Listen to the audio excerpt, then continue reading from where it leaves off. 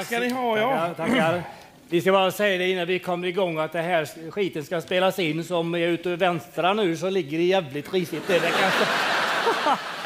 ja. Ja, nu gäller det att ha ordinarie fruntimmer med sig. Annars är det väldigt roligt för oss att komma ut och spela så här en dag mitt i veckan. För att det är fruktansvärda problem för oss på lördagskvällar. Va? Underhålla, för det är väldigt svårt att underhålla när det är mycket sprit med i bilden. Ja. Men idag är det ju inga problem. Nej, visst. För på torsdagen är både jag och Christer nyktra, så det ska... la- Jag menar publiken. Ja, så publiken! Fa- Fast i och för sig är vi rätt vana, för i våra bygder brukar vi spela ibland på något som kallas för idrottsfest och det har fan inte med, med idrott att göra. Och en, en är lika trött dagen efter som en har hållit på med idrott hela dagen före. Det är den enda likheten. Ja. Ja. Jag kan ta ett exempel. Det var två gubbar som skulle köra till en sån fest. Så sa den ene, vill du ha en sup? Nej, men jag kör ju, jag stannar då. Liksom- Samma gubbar, samma gubbar skulle köra hem ifrån festen sen så sa den ene bromsa, bromsa, ser du inte älgen? Bromsa själv för fan, det är ju du som kör. Det är lite så. ja. Lite så. Men sådana chaufförer har vi inte här idag, hoppas jag, så många. Säkert inte. Så bra. Ja förresten, på tal om brännvin så ska ju Gudrun Schyman bli, bli partiledare igen. Och det är ju märkligt att Vänsterpartiet tillåter det, för jag menar håller hon på som hon har gjort nu så har de snart inte mer procent än en lättöl och vad fan ska hon där göra då? Tycker jag du är taskig. Vad fan ger det på henne? Jag menar, hon var ju ändå rakryggad nog att gå ut och Rakryggad. Dyngrak. En- politiker, en politiker som är ärlig och vågar erkänna sina fel och brister, men en sån kan man väl stödja för det är ju inte vanligt med Stödja? Varför ska han gå omkring och stödja henne? Det är väl bättre att sluta supa så kan gå själv. Det är ju sådana som Gudrun Schyman som ger spriten dåligt rykte för fan. Och det sa de då innan hon blev partiledare första gången att, att, att, att hon inte är lämplig som partiledare men en bättre efterträdare till Lars Werner får hon leta efter. Ja. Snacka om att gå i Jeltsins fotspår. Det är det. Ja, och överhuvudtaget de här fruntimmerna i politiken, det var ingen hit. Jag menar skicka en sån intelligensreserv som Anna Lindh till ett katastrofområde där det är jävligt nog som det är.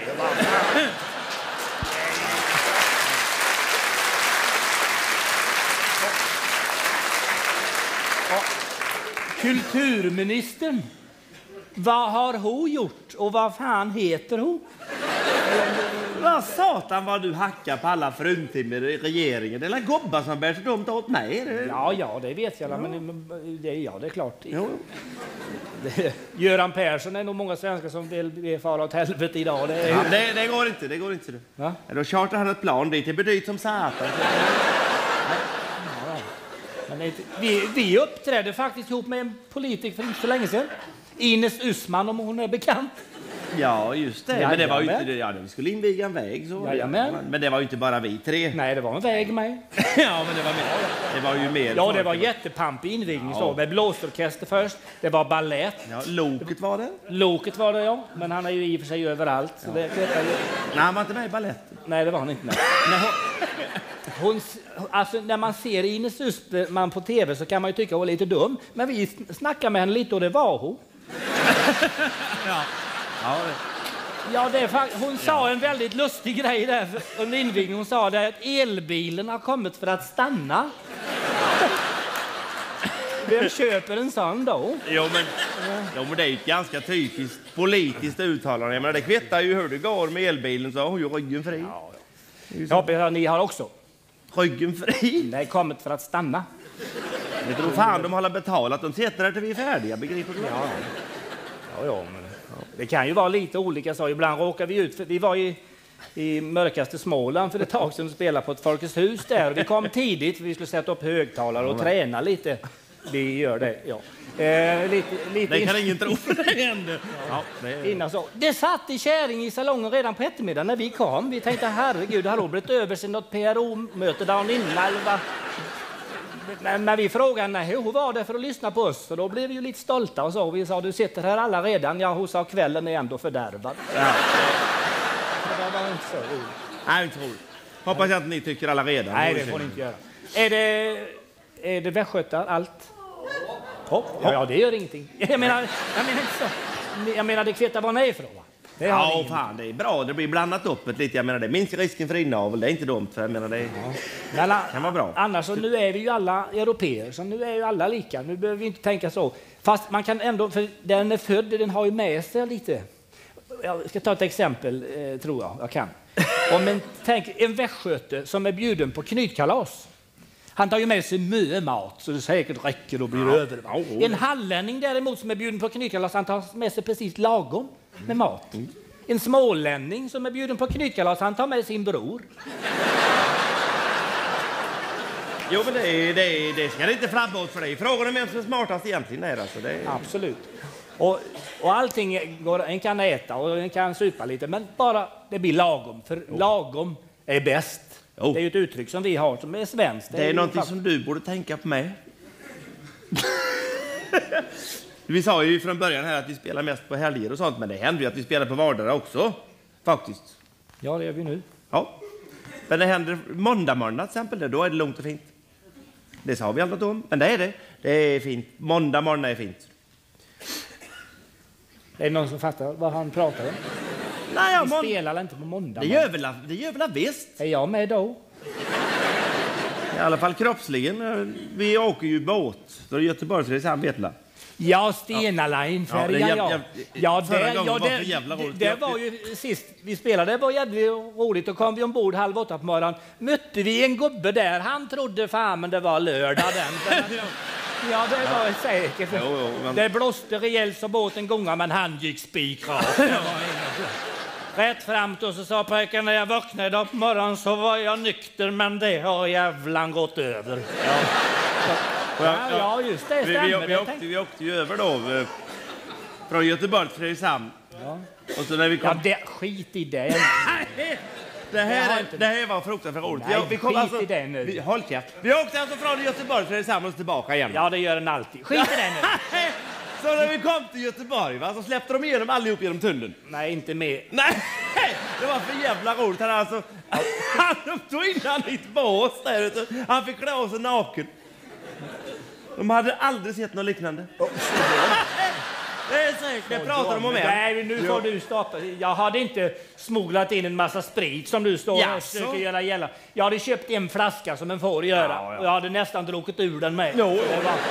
Men jag hade lite otur var denna gången, för det var nämligen så att det var en nyutexaminerad tulltjänsteman som stod där och spände sin uniform. En riktig skinhead-kopia i något jävla aluprojekt. Så det är klart han skulle visa sin makt va. Och pöta in mitt bås där och stå, klä av dig naken sa han och ta fram vad du har. Ja. Det gick väl fort att visa dig. Ja, det var ju inte min så pass. Just det. på flaska så att jag satte ju fram den. Va? Men då kom det över mig en sån konstig känsla, det är ju jättesvårt att förklara detta, va? men jag står i min nakenhet där. Så kommer den ju på, en har ju läst böcker och sett filmer om folk som har smugglat in knark i Sverige utan att veta om det. Och sen får sitta i fängelse kanske hela livet. Så jag tänkte, herregud, tänk om jag nu har stoppat upp knark i rö- alltså, och, och, och, glömt av dig. Ja, men, liksom, nej, men det blir den känslan, va? Så, och, och det är ju typiskt i så fall att en sån som jag ska åka dit med, som inte ens vet hur knark ser ut. Och då blir jag ju lugn Jag menar, har den någonting i näven och inte vet vad det är, så inte fan stoppar den upp det i röven. Så det var.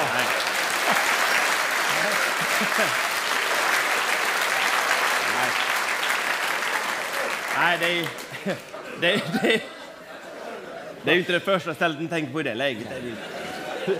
Hur skulle det se ut om folk hade den vanan? Vad är det som ligger där jag vet fan stoppar upp i röven? Nej, det vore, det vore hemskt. Ju så är det ju inte. Helt för dem. Nej, Jobba på Barneby och skära hem en- får vi inte vara så Nej, får Lagom är bäst. Ja, just det. Just det. Lagom och är bäst. Därför ska vi sjunga den här lilla låten. För lagom det är ju ett svenskt uttryck. Det är vi ensamma om i hela världen, tror jag.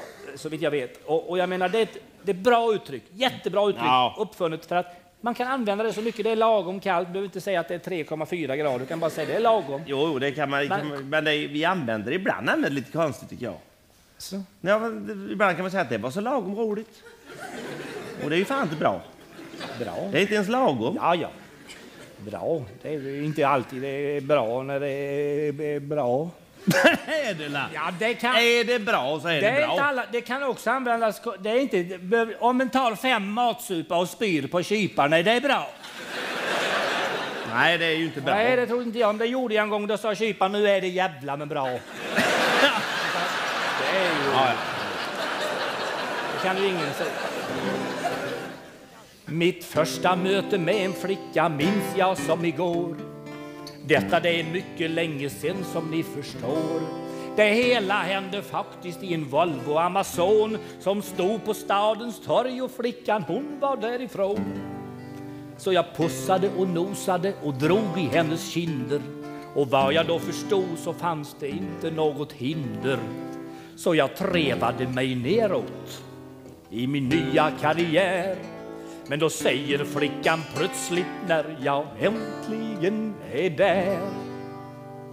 Nu så är det lagom, nu så är det lagom. Det vet inte de mer om Paris och de från Prag Att vi svenskar bor i landet som vi kallar landet lagom. Här ska allt vara lagom så att det blir lagom. Det vet inte de i London, Rom, Paris och de från Prag om. Att vi svenskar bor landet som vi kallar landet lagom Efter tunga dagar kommer lördagen till sist. Då glömmer man att hela långa vecka har varit trist. För man hoppar i sin festkostym och blir som Fred där och njuter av att se att alla kompisar är där. Snapsarna till maten gör att livet det känns toppen. Konjaken till kaffet maximerar över kroppen. Med uppknäppt skjorta möter man då groggens glada tid. Men då säger kloka hustrun min som sitter där bredvid. Nu så är det lagom, nu så är det lagom Det vet inte de mer om Paris och de från Prag om att vi svenskar bor i landet som vi kallar landet lagom Här ska allt vara lagom så att det blir lagom Det vet inte de i London, Rom, Paris och de från Prag om Att vi svenskar bor i landet som vi kallar landet lagom varför tror ni att vi står och sjunger denna sång? Varför är den inte kort och heller inte lång? Av texten blir man faktiskt varken ledsen eller glad. För tempot på den är ju varken sving eller ballad. Så nu sitter ni nog säkert där och grunnar och funderar. Ja, jag tvivlar på att någon denna skiten applåderar. Det kvittar, men håll med oss om att nog är denna låt Som livet är när det är mitt emellan skratt och gråt. Då tar vi högernäven och slår den mot vänsternäven, helst i takt. Nu så är det lagom, nu så är det lagom. Det vet inte de i Rom, Paris och de från Prag om. Att vi svenskar bor i landet som vi kallar landet lagom. Här ska allt vara lagom så att det blir lagom. Det vet inte de i London, Rom, Paris och de från Prag om. Vi svenskar låter nu och hoppas att vi slutar lagom.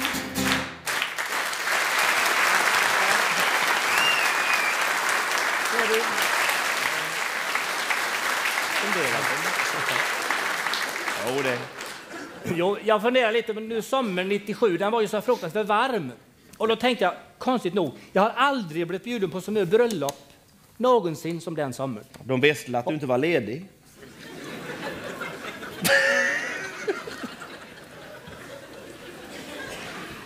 Vi har ett företag ihop, jag och Stefan. Ja. Det är bara vi som är anställda. Ibland tror jag fan vi skulle tjäna på att permittera. Bägge. Jo, det är nämligen så. Och då funderar varför gifter den sig på sommaren? Ja, varför gifter de sig överhuvudtaget? Jag undrar, jag funderar på det lite. Varför, jag känner ingen som har gift sig eh, juladagen. Nej. Vad beror detta på? Ja, att det, det- är sommaren som... Det, det är inte konstigt? Det tycker jag. Nej, du vet på sommaren vad du töser att ha korta kjolar på sig och baddräkter och grejer och haven stiger. Det är... Ja, men det ska ju vara två för att gifta sig och se fet gubbaröv i sådana kortbyxor. Kan, Nej, nej, kan ju inte... Får ingen sav till nej. stiga. det Nej, nej, nej.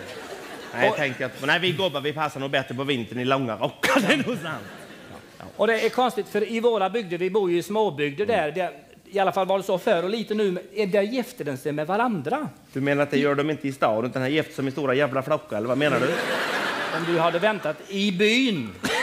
Jaha. Bland- Nu för tiden gifter den sig faktiskt mycket med utsocknes. Det är säkert många av er som har gift er med någon utsocknes upp med en näve. Alltså, är det inavel alltihop? Det var överraskande. Jo men, Ja. jo, men annars är det, och förr var det ju verkligen så alltså. Då gifte sig med, och då kan ni som är lite matematiker tänka, men tänk om inte det var samma antal gubbar som kärringar då va? Så det stämde. Ja, men tänk om det var fyra män mer än damer. Och jag menar detta är för länge sedan, det var innan bögen var uppfunnen ens. Vad fan skulle de göra? Det var ju ett jätteproblem va? Ja, de kunde ju gå ett helt liv och inte visste vad fan de var. Nej. Och, och i det här fallet så var det nämligen så att, att han hade blivit över, det var inte så konstigt kanske, men, men det stämde med antalet. Och så var det hon som var över också. Ja, och det kan man däremot ha man svårare att förstå. För hon var ju alla tiders människa. God härlig, trevlig och vacker och intelligent. En mycket snygg dam, i långt ljust hår och stora järnhalvor. Så kunde lätt tänka på en sak men har gjort något annat och, och så vidare. Han då, Ja, jag vet inte vad man kan säga för gott om honom egentligen. ja han hade inte ont någonstans. Nej, det hade han inte. Men det såg så nämligen ut så hela tiden.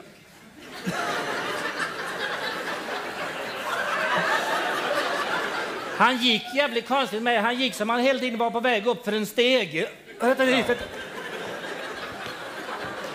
Han hade ju han hade friat till henne många gånger. En gång blev hon så trött på honom så hon sparkade till henne i ansiktet. Då blev han lite grannare. Ja, men det blir inte sämre. till. Men så var det att hon var ju 25 år va? och 25 år då måste man vara gift. Det var bestämt så på symötena. Ja, det gick, nok, Nockegränsen gick där någonstans Ja. kan man säga. Och hon ville ju inte dö ungmö så hon bestämde sig för att gifta sig med honom. Ja, man kan nästan säga att hon tog honom som en slags uh, u-hjälp. Eller så. Ja, eller bistånd eller så. Jag vet inte fan om man hade men skit i det.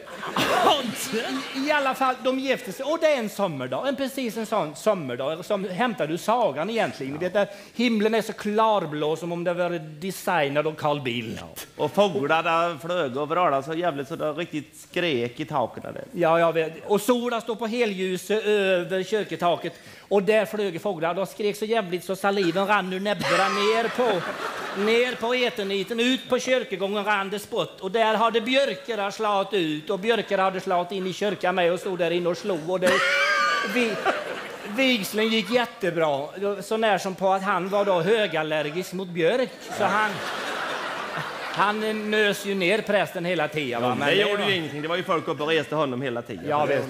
Och hon sa ja och han sa ja då. Och sen, sen gick de ur kyrkan då. Hon före i sin vita brudklänning och han småsprang efter in fyra nummer för stor frakt för att hinna med. Det. Och, det, det var där ute på kyrketrappan det här hände som jag tycker har så oerhört mycket humor i sig. Va? Så när de kommer ut där och möter folket där ute som står och tittar, då var det precis som allting stannade av. Solen gick ner på halvljus. Himlen blev mer Folkpartiet eller vad man ska säga. Och fåglar tystnade. Då tittade hon ner på honom för första gången och så sa hon att nu är du nöjd din fule fan. den tyckte jag var rolig. Ett, ehm, Så, så roligt vet jag inte om jag tyckte att det jo, var. men det var, det var ju en, en, vi har en annan, började så, så kan det ju bara gå på ett håll. Sen annan grej här som jag tänkte... Vad är det nu du har på gång? Skulle du vilja det? se Lucia naken? Skulle du vilja se Lucia naken? Jag hörde vad du sa. Men, du menar alltså att du har henne på bild där? A paparazzi, a paparazzi. Jag tror inte det. jo. Nej, jag tror inte det. Så kan du inte svara, då fungerar det inte. Jag har ingen aning hur detta ska fungera. Ja, men du får, nu, det var hemskt att du svar. Jag frågar ju, vill du se Lucia naken? Svara ja eller ja, ja, jag vill. Bild på henne här. Ja, men det är, vadå? Det är ju Då är inte... det bara för dig att klä av dig så får du se henne naken.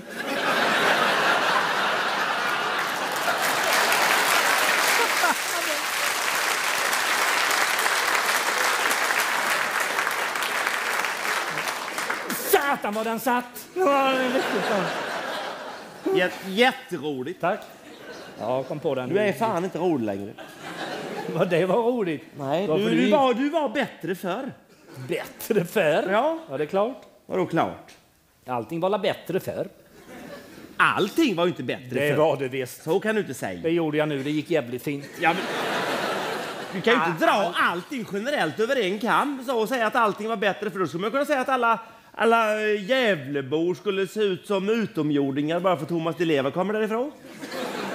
Vad gör han la? Ja, men man kan inte säga så, det stämmer Gjorde inte. ju du. Ja, men vad fan, allting, är, allting var inte bättre Det var det visst. Det kan du aldrig Jo bortförklara. då, med, med, ett- med ett motorsåg. Då Mordsåg? har du ett bra exempel. Med ett motorsåg startade inte förra veckan. Men nu startar det igen. Det är alltså bättre nu än det var förr. Ha! Och något fel på sladden där med lastdäck. Ja, jag startade i förrförra veckan då. Jo, jo, men... Då var det ju bättre förr. Ah,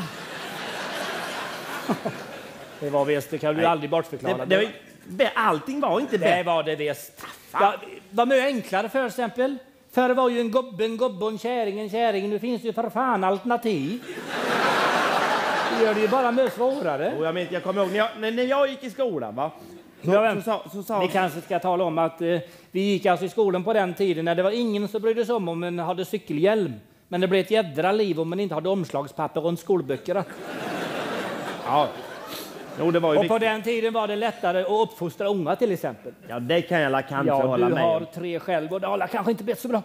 Nej, det jag kanske. Ja, men det kvetar ju nu för tiden vad vi vuxna än säger till ungarna så gör ju ungarna precis som vi vuxna. Eller vad säger Nej, vad fan, så kan det De gör ju som... Så vi- kan det inte vara. Mobbing är ett exempel, fanns inte förr. Fanns Vi- visst.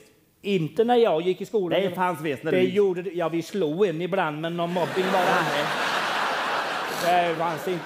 Nu, nu mobbar ju till och med ungarna lärarna, ser man ju på löpsedlar. Och hemma var så med. En lärare var mobbad utav hela höstterminen. Han var så deprimerad. Vårterminen var han jätteglad. Va? Så de sa det var ju gott att ungarna slutat mobba dig. Nej, nej, de mobbar mig varenda dag. Så ja, ja, men, ja, men, ja, men det är konstigt. Du är ju så glad nu. Vad är det som har hänt? Ja, du vet, nu hämnas jag. Nu lär jag dem jävla fel. Så där. Ja. Det kan, det kan man ju... Det kan man egentligen undra vad ska det bli av de unga som lär sig fel i 12 år. Yrkespolitiker. ja. Ja, nej, vad jag skulle säga. När jag gick i skolan så sa läraren till mig att du, du är så smart. Så du skulle... Vad sa han sa du? Men vad fan vad du lägger dig i avbyter hela tiden. Han sa, han sa att du är så smart, sa han. Ljög han det rätt upp i ansiktet?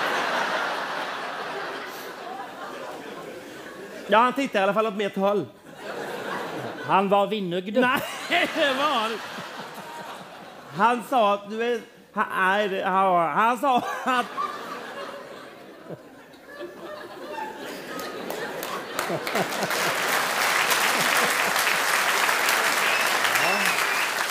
Du, du kan bli vad du vill, sa han.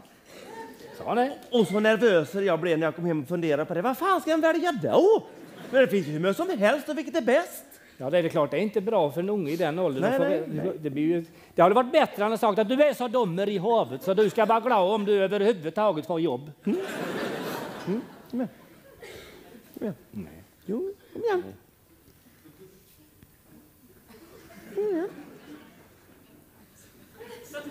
Ja, det sa han inte mer. Just det. Men, ja. Men en får ju vara nöjd. Men den är nej. Jag menar, folk skulle varit mer nöjda med mig. Eller med oss. Vi skulle varit mer nöjda med oss, men det är vi inte. Det kan man se tydligt på det här. Bantning håller på frukt, färga håret, men inombords är det ju samma ändå. En del opererar om sig till och med. Va? Jag vet att jag kan operera om mig med om ni tycker det. Jag, kan till och med operera om mig till fruntimmer, men, men vad, vad skulle jag göra om jag blev fruntimmer? Ja, du fick nog börja med att raka det. Ja, men det blir ju ingen skillnad. Sen är du så nyfiken så hade du nog dragit ner byxorna och kollat hur det blev, det tror jag. Det, det är klart, med det goda minnet i behåll så kunde ju legat med sig själv de första dagarna. Ja. Ja, visst.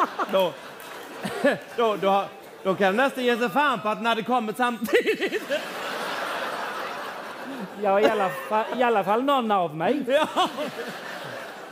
Nej, men det är konstigt. Jag menar här, va? Och, och, och, och vems fel är det då att inte vi är nöjda? Att vi, det, det är ni fruntimmer som har börjat med det. Nej, nu får du ge Jo, det. det är det. För ni klipper ur såna här posters och såna i veckotidningar på amerikanska skådespelare och sätter upp på kylskåpsdörrar. Det är jävligt hyggligt. vad är detta tjejer? De blir allvar va? Handen på patt... Eller vad säger? På, på hjärt, hjärtat, vad är detta? En amerikansk... Jag skulle inte ens vilja heta Brad Pitt. Jag menar, om du gifter dig med honom, vad heter du? Ann-Louise Pitt. Det hade inte varit så roligt när du sitter hos tandläkaren och ropar upp ditt namn.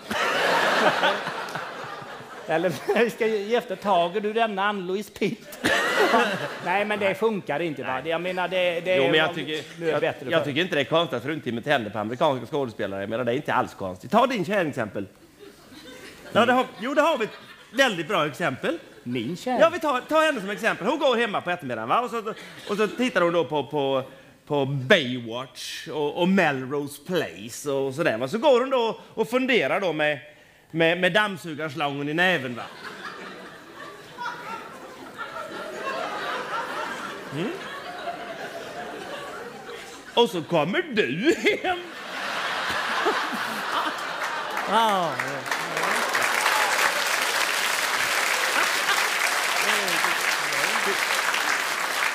Vilken besvikelse. Besvikelse. Ja. Nej, du. Hon blir inte besviken. Det gör hon hon säger det var bra du kom. Kan du dammsuga? Ja, ja. Nej då, det var Jo, men jag tycker det- ändå inte det är konstigt att fruntimmet händer på amerikanska skådespelare. Jag menar, de har ju en fruktansvärd sexualdrift. Ah, skitsnack. Du, en sån amerikansk skådespelare har mer sex än vi bägge har ihop. Jag tror fan vi har ingen sex ihop.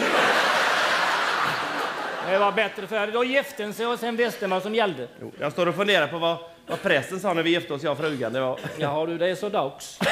jo, ja. Det är lite sent. jo, jo, visst är det lite sent, men jag menar det, ja, det, men det, det, det tiden har ändrat sig. Jag menar, man lovar ju älska varandra i nöd och lust, men jag tycker det är för gammalt. Jag menar nu när man ser tillbaka på det, det är inte med nöd. Jo, men fan, ett par, tre dagar om året, mer är det inte. Men lägger ihop det? Nej du. Och lust, det är... Ja, det är klart det går åt en eftermiddag det. Ja.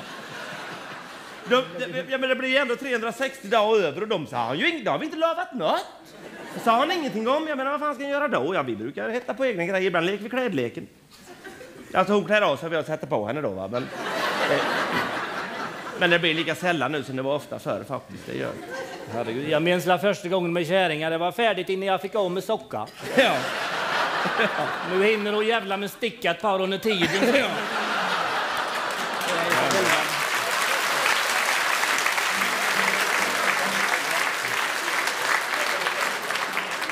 Nej, vi vill ju inte stå här och eh, se som vi vore några mansgrisar. För det är vi faktiskt. Jag kan säga, vad skulle vi bägge varit utan våra fruar?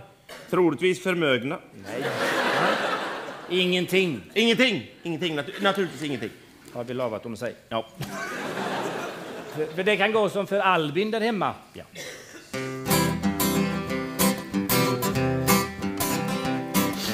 Detta är en visa om hur det gick till när Albin köpte ett kikarsikte till sin gamle studsare. Då ringde han till Johan och skrävla om sin grej. Ta och lyssna noga på vår sång, det kanske kan hända dig.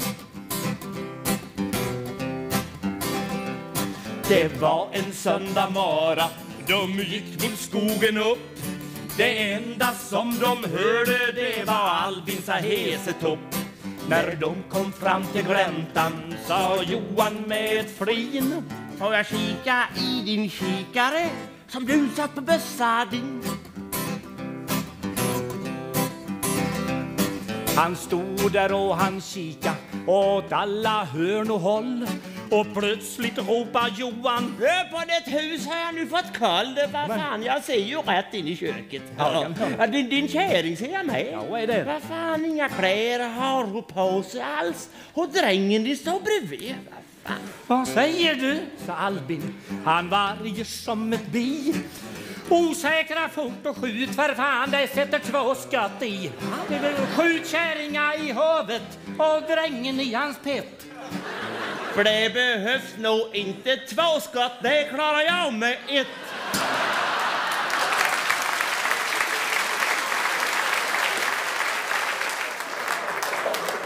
Det handlar om två gamla gubbar hemifrån våra bygder den visar och de gamla i samhället i övrigt ska vi, vi som är lite yngre, vi ska inte vara rädda för dem. Vi ska istället ta vara på deras enorma livserfarenhet. Och som bevis på detta har jag bjudit in här Enok 99. Välkommen farbror. Farbror. Här.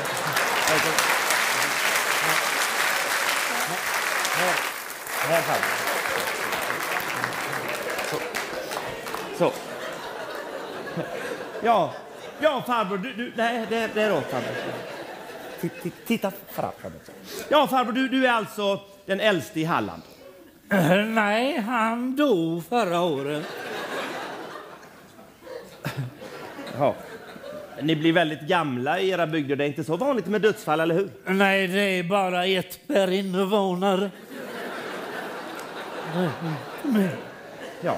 Hur känns det nu farbror? Kan farbror berätta, hur känns det nu att bli så där gammal?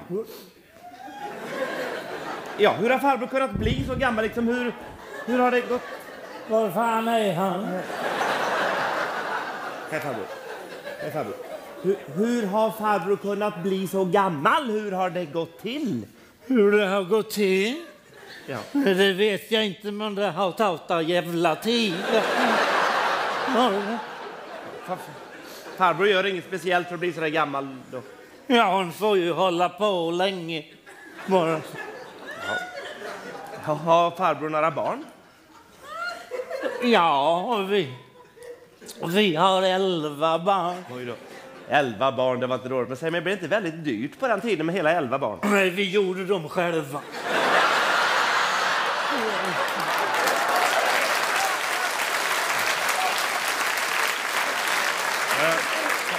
Jag, jag tänkte fråga farbror, le- lever er fru? Ja. Ja, men det är ju fantastiskt. Här har dessa båda människor levt lyckliga i alla dessa år. Nej, fan heller. Ja, vi ska skiljas. Ja, vi har grundat på det länge, men vi ville vänta till barnen vore döda. Och ju omtänksamt, men det är väl ändå skönt att ha en... Ja, du får lugna ner dig lite. Jag kommer när det är färdigt. Far- Det var Farbror, förlåt, förlåt. Vem, vem pratar farbror med nu? Men Min kärring står här och ropar bakom sköfset. Ja, jag hör ingenting. Nej, jag hör inte så bra heller, men det är bättre att svara en gång för mycket än för lite. Var det något mer han ville? Ja, jag, jag tänkte fråga, eh, hur får farbror tiden att gå på dagarna? Kan farbror beskriva en normal dag sådär? Vilken dag menar du? En, en vanlig dag, en måndag till exempel. Vad gör farbror på måndagarna till exempel? Måndagarna? Ja, på måndagar går jag till Johan. Ja. Och det dricker vi kaffe och en stor jävla sup. Ja, farbror, nu tror jag inte vi ska prata om sprit i så positiva ordalag, utan Alltså, eh, det, farbror kan väl ta ett annat exempel. vad ser du för något? Farbror kan väl ta ett annat exempel. Jag gör ingenting annat på måndagarna. Farbror, säg att du går hem till Johan och läser en bok istället. Läser bok. Jag som ser så dåligt. Farbror ska inte läsa en bok. Jag har inte de rätta glasögonen med heller Farbror ska inte läsa en bok, bara säga att han läser en bok. Så låter min kärring precis.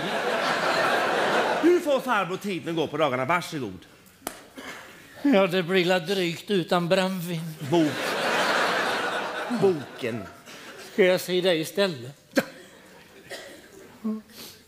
På måndagar då går jag till Johan och där dricker vi kaffe och läser en stor jävla bok. Vi hoppar över. Vi, vi, vi, hoppar över.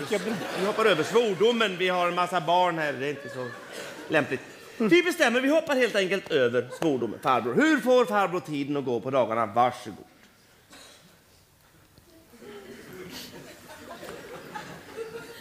Och måndag Då Då går jag till Johan.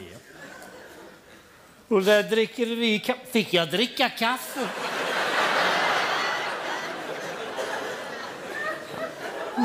Då gör vi det. Och sen läser vi en bok. Ja. Och på tisdagar går jag till Johan och dricker kaffe och läser en bok. Ja. Och på onsdagar går jag... Då går... Då går... går ja, vad fan, då kan jag lika gärna ta bilen. Så lever de gamla i dagens samhälle. Men, men på lördagar, lördagar går jag till Frans och då dricker vi kaffe och läser en jävla massa böcker för han skriver själv.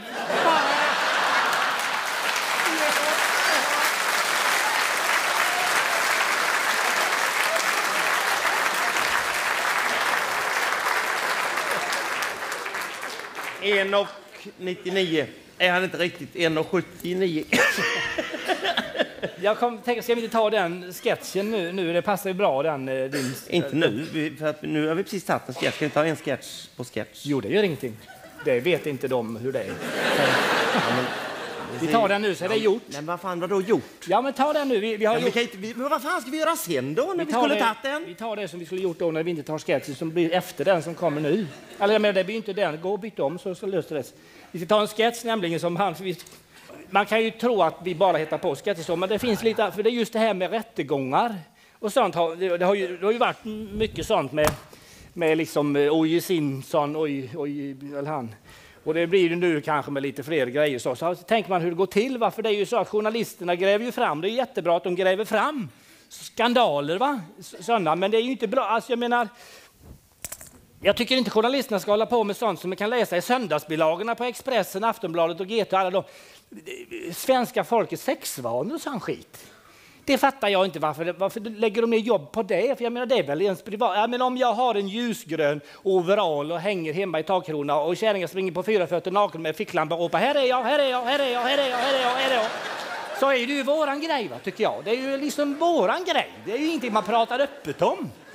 Jag menar, de hade haft en sån här undersökning, man hade svarat, eh, frågat 1000 svenskar hur de ser på sitt sexliv. Det var en kärring som svarade att hon brukar blunda. Den tyckte jag var rolig i och för sig.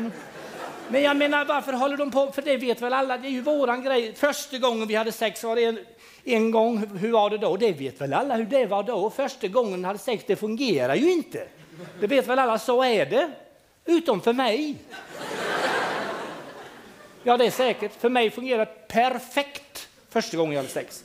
Ifrån början till slut, helt perfekt. Detta är sant. Andra gången däremot fungerar det inte alls. Ja, ja. Kan det ha berott på att det var en tjej med då? Ja, vad det blev rörigt. Jag tyckte det var... För jag menar, jag, vi låg i sängen, för det, vi var ju nybörjare bägge, så vi visste ju det att ligga i säng är ju bäst, så inte trillar i koll då. Va?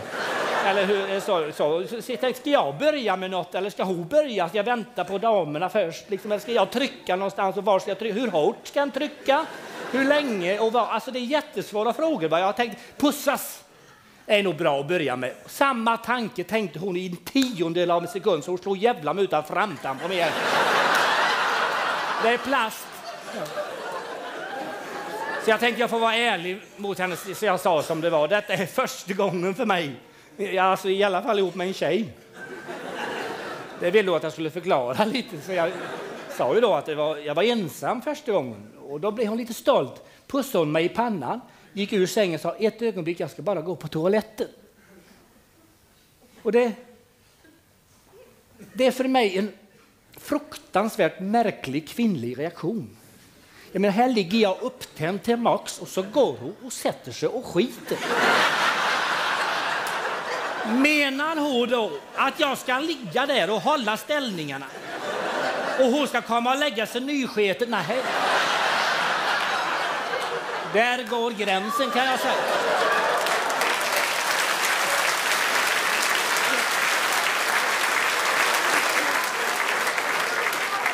Så när hon kom tillbaka till sängen så kände jag måste ju försäkra mig om att hon har varit där och gjort det stora som man säger. Det fanns ju två ställen att lukta på då. Jag, jag valde att gå till toaletten.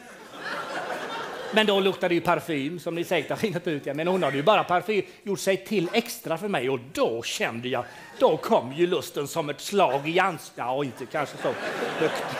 Så jag, då var jag så upptänd så tänkte jag bara rusa till sängen liksom. Men jag tänkte herregud, då kanske hon undrar vad jag gjorde på toaletten i tre sekunder. klämde en pormask eller något sånt. Det är ju inte så sexigt. Va? Så, att, så att jag tänkte, jag stod där i min nakenhet och min ensamhet och min fruktansvärda upphetsning. Då kom jag på hur bra jag hade haft det första gången.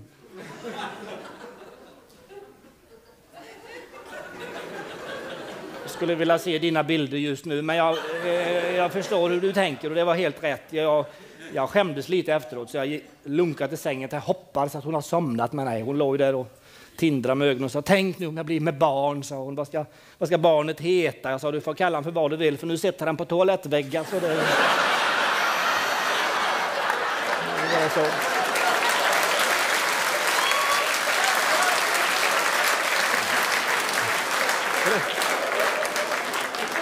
Sen kanske, sen kanske en del då sitter och tänker, men hur var det då tredje...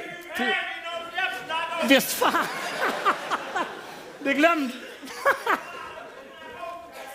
Ja. Jag glömde det du.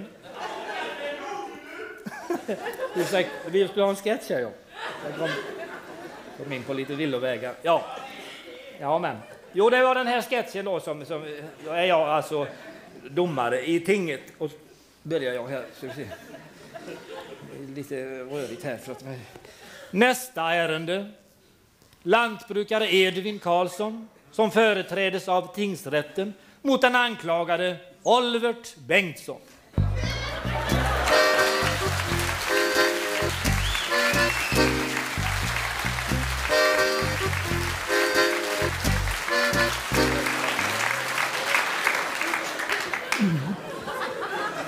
Lägg handen på Bibeln och säg efter mig. Lägg handen på Bibeln och säg efter ma- inte mig. än. Inte än. Lägg handen på Bibeln.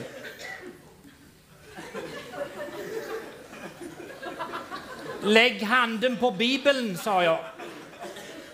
Nej, inte än, sa Hallå? Hallå? Kom. Kom. Kom. Kom så. Kom så. Säg nu efter mig. Jag, Olvert Bengtsson. Du, Oliver Nej. Bengtsson. Jag, Olvert Bengtsson. Heter du mig Oliver Bengtsson? Nej, självfallet inte. Vad heter du då? Det, det har ingen... det- Jag heter Ragnar Herngren. Ragnar Herngren. Men det har inte med saken att göra utan... Är det den Ragnar Herngren som Nej. gick i skolan ihop med min syster Nej, Tyra Bengtsson?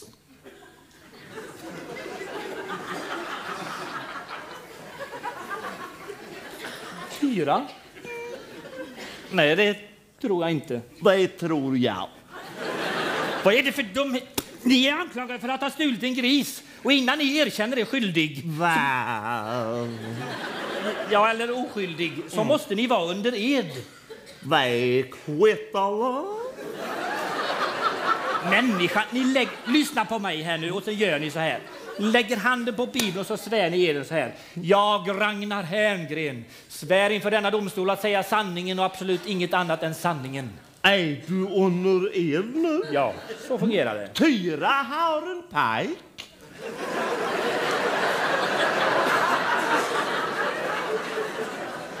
Egon heter han.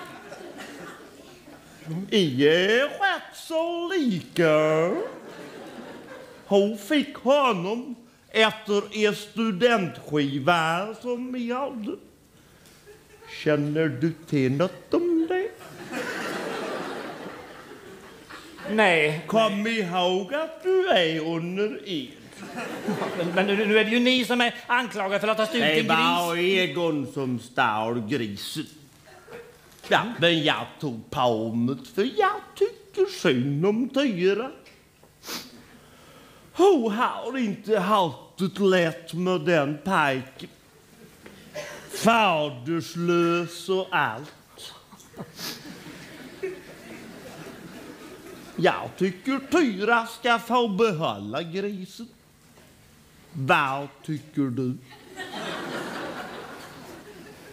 Ja, det kanske blir bäst så. Eh, Vill du träffa Tyra? Nej, nej, nej, nej, nej. nej. Nej, får hon behålla grisen så håller hon noga och ett svin.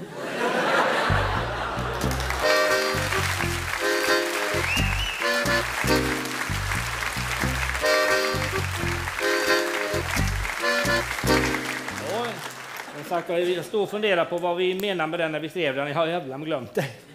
Jag inte det riktigt nu, men det var väl något. Eh, vi ska... Vi ska... Ja, kaffe blir det ju inget. Men ni dricker kaffe, va? Ja. Jaha, det var en. Ja, jo, men det vet jag. Det är, det är ju en svensk dryck så, som alla dricker nästan. En del får ju dålig mage att dricka kaffe. Är det någon som har känt av? Ja, ja. Du behöver inte räcka upp handen. Det är ju lite taskigt. Liksom. De Ja, andra vi- som sitter runt känner dig. Ja, visst. Det är ju inget sånt som hallå, jag fiser väldigt mycket. Utan det är ju sånt man håller. Men jag kan ge er ett råd då om ni tar lite mjölk i kaffet. Va? För mjölk i kaffet gör alltså att magen blir bättre. Jag kom på detta då i samband med att ett tag så hade jag väldigt ont i mitt vänsterknä och det gjorde att jag fick eh, huvudvärk tack vare att inte jag hade mjölk i kaffet. Alltså, in- vad är det nu han heter, din homopat? Nej, men, jo, men det, det var faktiskt så att jag hade ont i mitt vänsterknä, va? och då haltar man ju, och då blir min rygg sned. Och den blev så sned så jag fick ryggskott, fruktansvärt ont i ryggen, så jag fick äta värktabletter. Och de var så starka så magen slog fel, va? så jag kunde inte dricka något kaffe. Och får inte jag kaffe, då får jag ont i huvudet. Så ni fattar, det är så, va? så lite mjölk i kan jag ge som råd. Och, och det kan ju vara andra som har annat i och så, va? så det finns kanske lite olika. Vi, Ska vi, ska vi se? Ska vi, ska vi testa det, hur, vad, vad ni brukar ha i kaffet? vi tror det finns fyra kategorier, så nu sjunger vi fyra verser. Så om ni känner att där är min vers, då kan ni väl göra er hörda på något vis med något. Ja. Fnissa till lite, det är rätt roligt. Ja. ja. Skratt eller så, bara, det är ju barnsligt detta, men skit i det. det, är, Ja, det- det- Vi tycker det är roligt. Det går över. Nu tar vi den rätt så snabbt, va? så inte det hörs så länge varje gång jag spelar fel. Alltså, Ja, du börjar. jag börjar. Ja, jag vill gärna ha, jag vill gärna ha, jag vill gärna, gärna, gärna ha mjölk. Jag vill gärna ha, jag vill gärna ha, jag vill gärna, gärna, gärna ha mjölk. Jag vill gärna ha, jag vill gärna ha, jag vill gärna, gärna, gärna ha mjölk. Jag vill gärna ha, jag vill gärna ha, jag vill gärna, gärna, gärna ha mjölk. För mig så vore det nog allra bäst med grädde. För mig så vore det nog allra bäst med grädde. Det vill jag allra helst via gräddefrälst. För mig så vore det nog allra bäst med grädde. För mig så vore det nog allra bäst med grädde. För mig så vore det nog allra bäst med grädde. För mig så vore grädde allra bäst för dig. Det jag gillar mest med finns inte grädde för mjölk. Fyra sockerbitar, fyra sockerbitar, fyra sockerbitar vill jag ha minst. Fyra sockerbitar, fyra sockerbitar, fyra sockerbitar vill jag ha minst. Fyra sockerbitar, fyra sockerbitar, fyra sockerbitar vill jag ha visst Fyra sockerbitar, fyra sockerbitar, fyra sockerbitar och skattmjölk. Jag skiter bland i kaffet bara jag får konjak. Jag skiter bland i kaffet bara jag får konjak. Det är tillbehör som inte alls förstör och det gör faktiskt bättre nöt än likör. Jag skiter bland i kaffet bara jag får konjak. Jag skiter bland i kaffet bara jag får konjak. Det går med konjak utan kaffe. Konjak är ju alltid konjak men i värsta fall så går det bra med mjölk. Jag vill gärna ha, jag vill gärna ha, jag vill gärna, gärna, gärna ha mjölk. Jag vill gärna ha, jag vill gärna ha, jag vill gärna, gärna, gärna ha mjölk. Jag vill gärna ha, jag vill gärna ha, jag vill gärna, gärna, gärna ha mjölk. Jag vill gärna ha, jag vill gärna ha, jag vill gärna, gärna, gärna ha mjölk. Ja.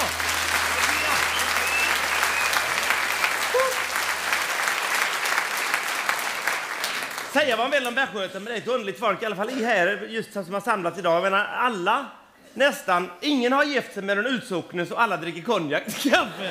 Det Det låter som ett sunt leverne tycker Ja, det jag. tycker jag.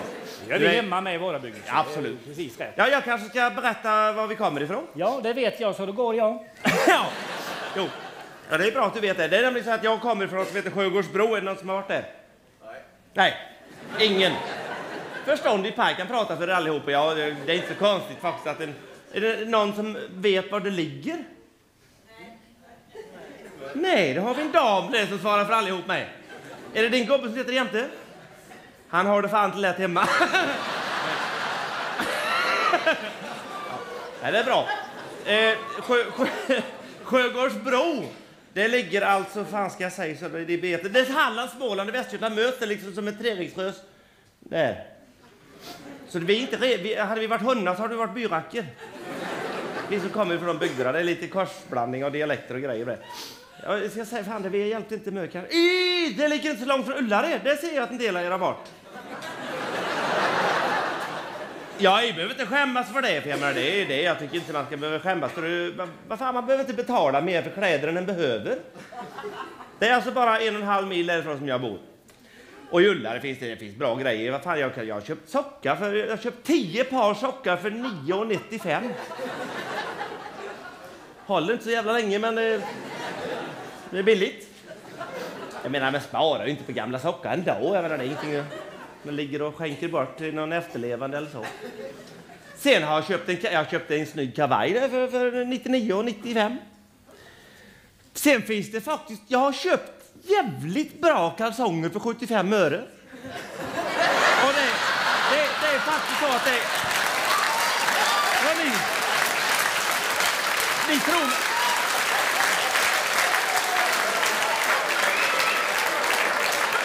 Ni, ni tror mig inte, alltså det hör jag ju direkt va? Jävla konstig humor har ni med. Säger man kalsonger så bryter ni ihop. Jag fattar inte. Jo, jo jag skulle berätta, jag fick nämligen en, en genial idé tack vare att jag bor så eh, ödsligt. Jag bor alltså så jädra ensam så de som kommer och hälsar på mig, de har i regel kört fel. Ja, de vet inte vad de är, de frågar vad fan de är, då är de hemma hos mig. Och det är ofta sådana som kommer, smålänningar som ska igenom, kom på att de kan tjäna två kilometer genom att köra förbi mig. Till Ullared då. Och det kan vara köer ibland på sommaren, du vet fan inte vad de är, man får stå och peka hela tiden. Det kan vara riktigt körigt. Och ibland, fast ibland lättar det upp, då kommer det en tysk. Och det är ju roligt att kunna skicka en sån, åt helvete. Och, och i och med att, varför jag kom fram till den här uppfinningen så småningom, det var det att när jag kommer hem som en sån här kväll som ikväll efter den har varit ute och jobbat så, så brukar jag alltid ställa i bilen i garaget så har jag en bit att gå in då till själva framhuset och då brukar jag alltid pinka ut innan jag går in. För det, det är på något vis något vis. Det är gott att kunna svänga med en så. Ja, vad fan, det, det är lite... Jag, jag tror det handlar om gener egentligen från början. Det handlar om att pinka in revir det där. Ja, sen är det ju praktiskt, men ser, hör att det berättar till bort i skogen så vill ju kunna vända sig om och se vad det var utan att nypa av. Jag, jag vet säkert många av er fruntimmer som städar toaletter att det är många som, som vet att gubbar håller på med det inomhus med. Och det är alltså ingenting att göra åt, för det är genetiskt betingat det där. Och när jag stod där och gjorde som jag brukar så, så slant jag till på en snöglöpa och jävlar då blev det inte som ett S. Så, så jag fortsatte med T-E-F-A-N. Förvånat hur jävla fint det blir kanter och allting. Och, precis som det var skrivstil så, perfekt. Och medan jag stod där och funderade så blev det en punkt med. Och nu är jag, nu är, nu är jag lite dum för jag är jävligt idrottsintresserad och jag missar mycket idrott för att vi jobbar på kvällar och så va. Så det här har blivit som en sport för mig. Och själva utmaningen är att jag heter Gerhardsson i efternamn. Så det går inte med vilka blåsa som helst. Nu, nu kanske jag ska berätta det från början så ni, så ni inte tror att det här är... för- Ni, ni som vill prova, det är ju ingen, det är ju, det är ju alltså ingen sommarsport det här. Utan det funkar ju bäst på vintern för då kan ni läsa vad han skriver. På sommaren är det svårt. Det är ingenting för damer heller kan jag säga direkt om du har tänkt. Nej. Nej, det skulle se fånigt ut. Krypa omkring på fyra fötter på skaren där. Särskilt om man heter Marie-Louise De Geer Bergenstråle Ekman. Nej. Nej, det är ingenting att tänka på. Men när jag stod där eh, och, och var precis färdig och försökte slå mitt personliga rekord för 151 gången, va, då, då, då efteråt så blir det sådär när man bor, är, bor långt ut i skogen, det blir sådär tyst.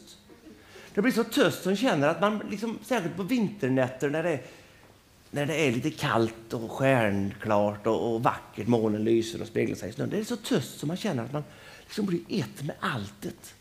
Och den känslan är underbart skön när det är riktigt tyst. Då fick jag idén. Jag menar, de, som, de som bor i stan, de får ju aldrig den där riktiga tystnaden. Det är alltid någon bil som går förbi. Någon eh, som slår sig käring eller någon, något annat, hissmusik eller något. Ja. Varför inte ge ut en oinspelad CD? Jo, men tänk efter, då kan man sitta i sin lägenhet, även om det bullrar som fan ute, så tar man på sig hörlurarna, va? Och ju högre man skruvar upp, ju tystare måste det ju bli. love and.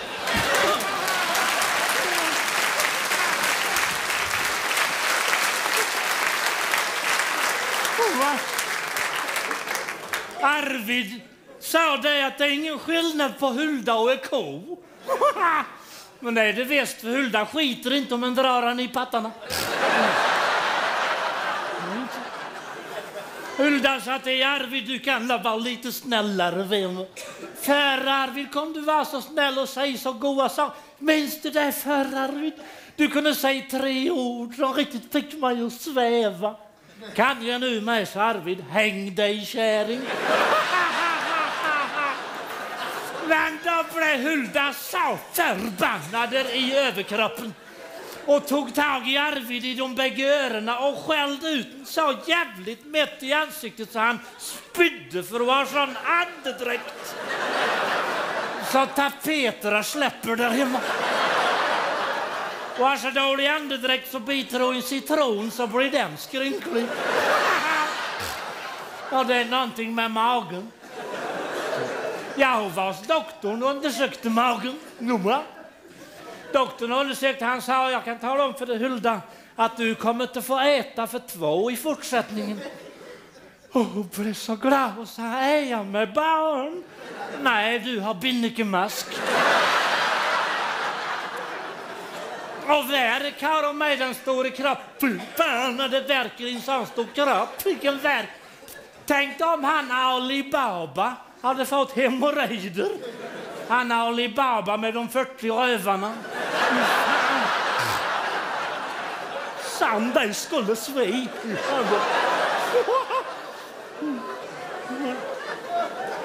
Ja förresten, det är 30 år sedan nu i år som Hulda och Arvid träffade varandra. När de träffade varandra så sa Huldas mor, Storhulda, till Hulda, gå nu inte och lägg dig med Arvid med en gång så du blir med barn det första du gör.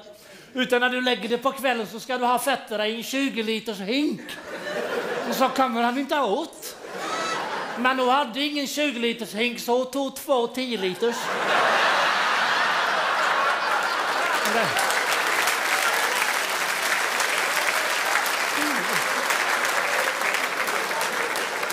Nej, det fungerar fan inte. Nej, det ramlar ju ut en pajk där en dag. Och först hon satt och ammade honom i köket när Arvid kom in och mjölkade skvätte på tapeter och taket. Arvid sa, herregud Hulda, tänk om du hade haft fyra sådana som du bara har två Då hade vi inte behövt ha några mjölkkor. Mm. Jag sa, Hulda, hade du haft två och den du bara har en och så hade vi inte behövt ha någon dräng. Fick han så han fes. Mm. Men drängen Egon, han var, det var för ynkligt. Han är inte ofta i stan, men häromdagen var han i stan. Han var på sån här strippskip, strippskivshop, strippskip, strippskivshop, strippskivshop, blå, strippskivshop. Så han strippskivshop. Och när hon hade klätt av sig kläderna så applåderade allihop för det vilda, alla utom Egon. De sa till honom, vad fan tyckte du inte det var bra? Och det var fruktansvärt bra detta. Men varför applåderar du inte då? Nej, det går inte med en näve.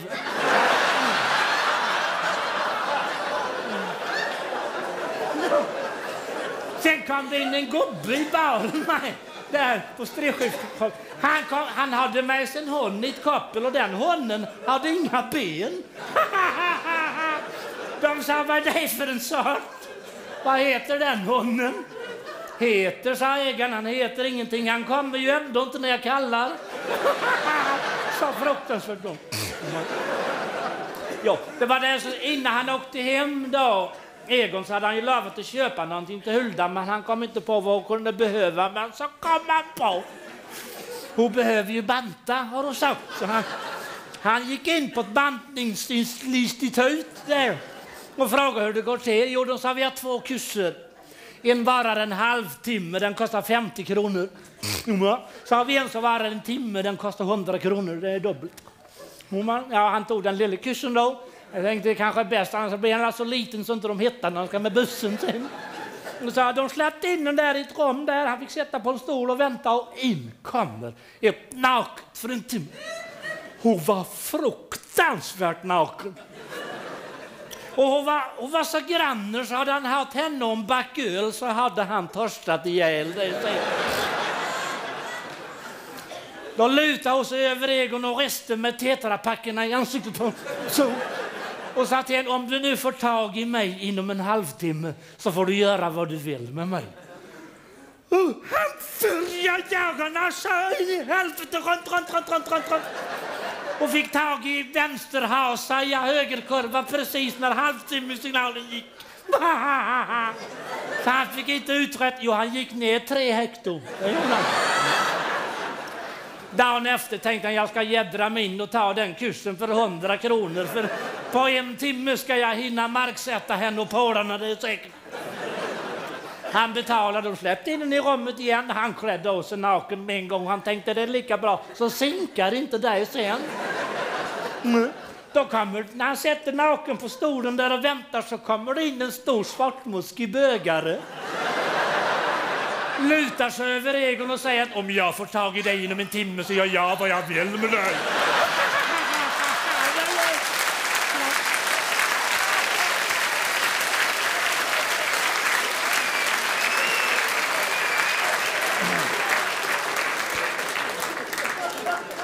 Tack ska ni ha. Vi ska be att få tacka så mycket för oss med att spela en bete som vi eh, har skrivit av från en skiva som vi har köpt. ja, det är alltså en covers. Eh, det är, den heter, ja covers egentligen, det är, den spelar andras beta fast på ett annat vis. Och den här har vi översatt. Det är den engelsk bete i original. Den heter i original Living Next Door to Alice. Men det gör den inte längre. Vi har översatt den fruktansvärt fritt. Ja, just det. det.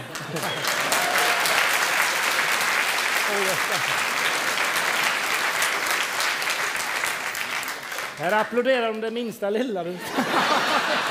Ja, jag hörde det. Christer Claesson, 42. Ja. Vad sa du? Christer Claesson, 42 år idag.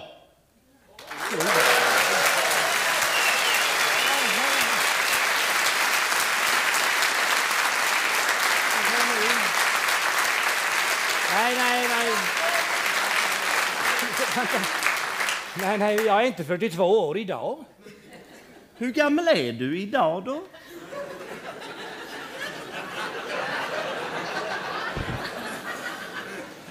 Ja, det är klart jag är 42 år idag, men jag följer ju inte år idag. Det har jag aldrig sagt. Det fick du för din jävla Lucia.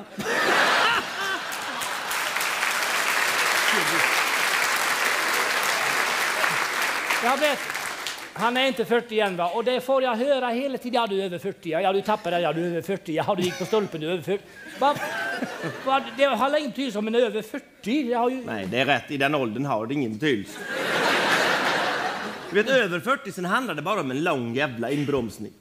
Ah, jag. Folk över 40, de är över på något vis. Så dumt.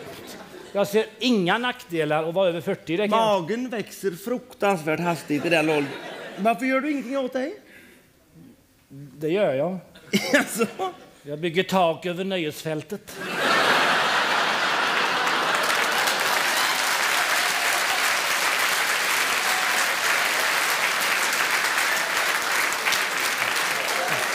Ja, det, det är ju inte färdigbyggt på länge. Utan tycker inte du ska bry, bry dig om att bygga färdigt det, för det är, det är inga nötter att bygga tak över något som är nedlagt.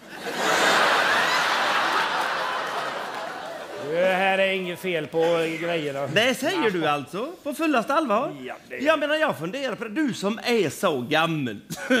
Orkar du fullt ut med allt som krävs med förspel och grejer?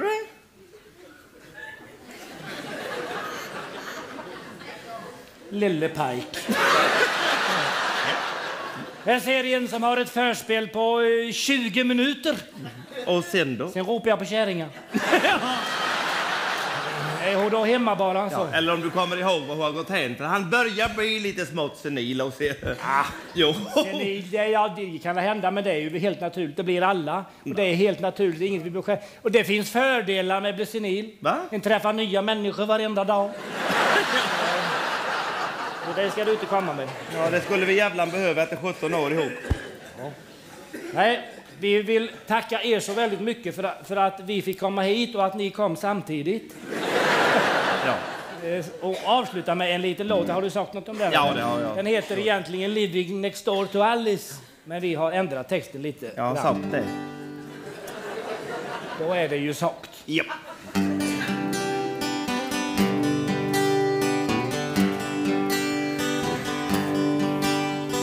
Satt där i bilen på vägen hem Jobbat över fyra timmar sen klockan fem Kände mig trötter Sa till mig själv, är hemma snart Hoppas kärringar har sparat lite mat Det var då som det kom en bil i korvan vill du bli annonsplats i Vägverkets reklam? Vill du bli så tilltryckt så du noppas av en gam? Allt det där kan hända dig om man inte bländar åt det halvljus. Den skadas på skadaste gård i ett par skor så sönder ger och dans och till och med de blinde glor. Allt det där kan hända dig om man inte bländar åt det halvljus. Hela semestern låg framför mig. Vi hade längtat, jag och min tjej. Så jomlaggat. Suttit åtta timmar bakom bilens ratt. Var nästan framme när kväll blev till natt. Det var då som det kom en gammal Mercedes. A-klass på vis. Möta låda. En sån bil som är så lätt att byta ljuddämpare på. Ja, men just det. Vill du bli annonsplats i Vägverkets reklam? Vill du bli så du doppas av en gran Allt det där kan hända dig om man inte bländar åt det halvljus. Halvljus! Blända åt det halvljus! Hur blir du bli den skadaste som gått i ett par skor? Så sönder gör dans och till och med de blinde glor. Allt det där kan hända dig om man inte bländar åt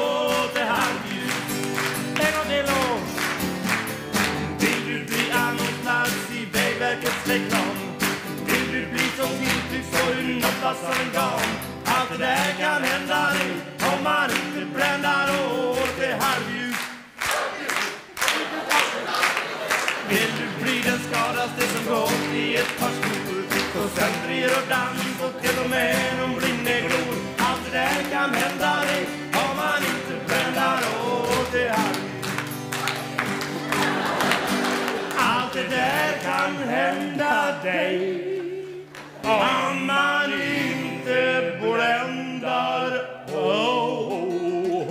vad fan gör du nu?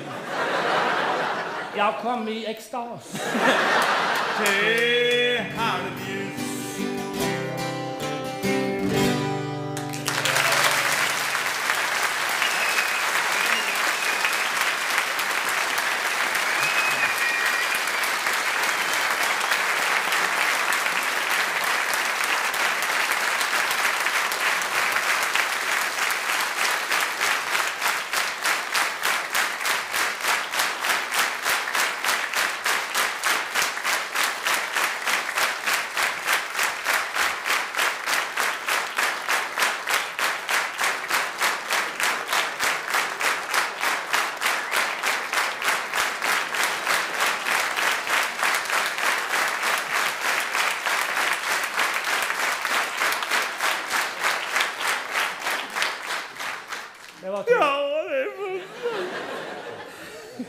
Kanske...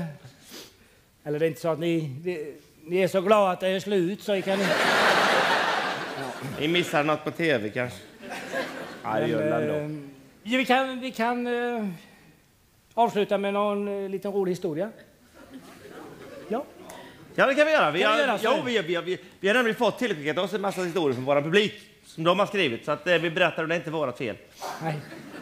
Det är Eh. lite historia och sånt. Vi har gjort en CD på dem och det är 57... Ja, det är hund, över hund... Oj. Den kom. Ja, det, Det var... den kommer från hjärtat, det luktar svavel. Den kom objuden som han sa. ja. Jo, men jag kan börja med en.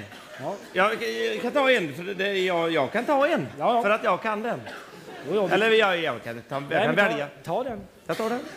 En kille kommer fram till, den är bra. En kille kommer fram till en bar, va? och bakom baren står en kvinnlig bartender då, va? Nej, inte den. Va? Inte den. Varför det? Nej, ta inte den. Vadå Nej, för? Det, det finns över hundra. Du behöver inte välja den allra värsta. Det är ju, Det är väl ingen fara? här är ju barn och grejer. Barn, vad fan tror du de har gått hit för? Tror du de har varit hit för att de, de tror det är barnprogram? Ja, men va? Nej, men de kan ju för fan få en överdos. De kan att, Nej, det är lugnt och fint. Det är, Den är inte bra. Ungar, det är ingen fara med det. det här, En kille kommer fram till en bar, det kommer ni med att göra när ni blir stora ska ni se. Bakom baren står en kvinnlig bartender. Han säger jag ska ha en, jag ska ha en öl. Men det ska vara en stor öl, för jag har stor, vet du. bil. Stor, Nej. bil. Stor bil.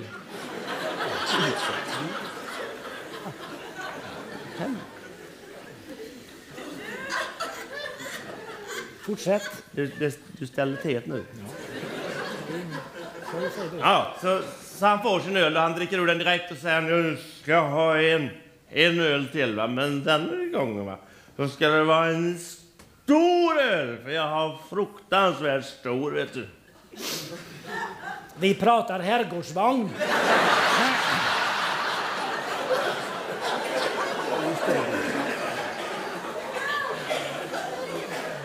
Ja.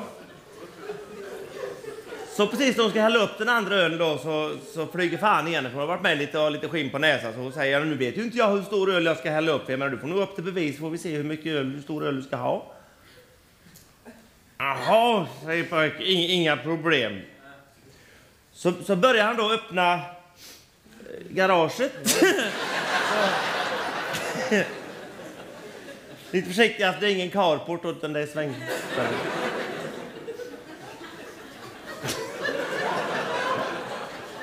Och, och ut kryper en sköldpadda. Och hon blev förvånad. Har du sköldpaddor i garaget? Sköldpaddor, säger han. Det är flatlöss.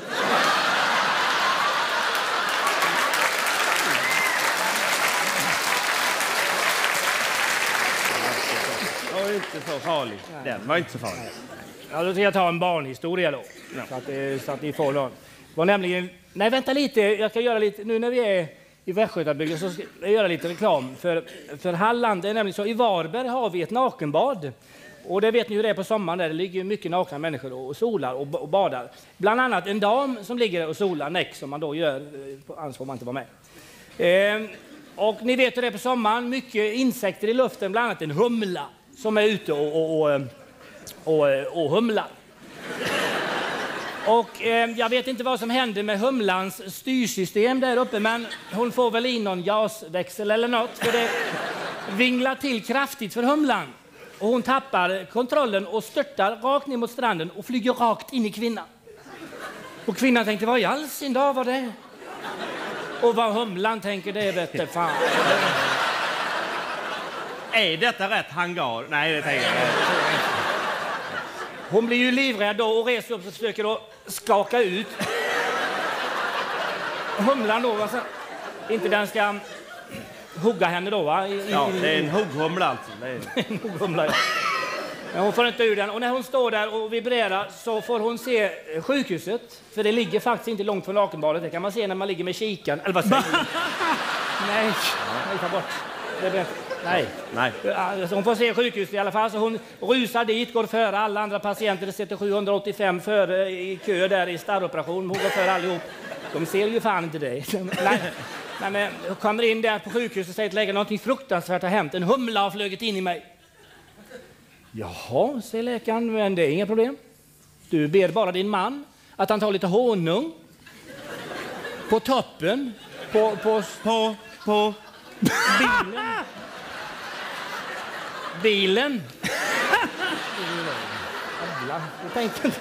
Jag åkte du dit på eget grepp? Ja, ja, men på toppen på bilen då, där på, På toppen! på liksom eh, motorhuven där. Smörjer in, smörjer in motorhuven då va.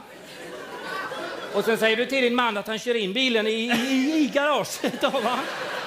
Och, och så börjar han ju stänga om motorn där inne då och vänta lite till han känner att det kittlar till på motorhuven. Då backar han ur bilen och då sitter humlan där. I grillen.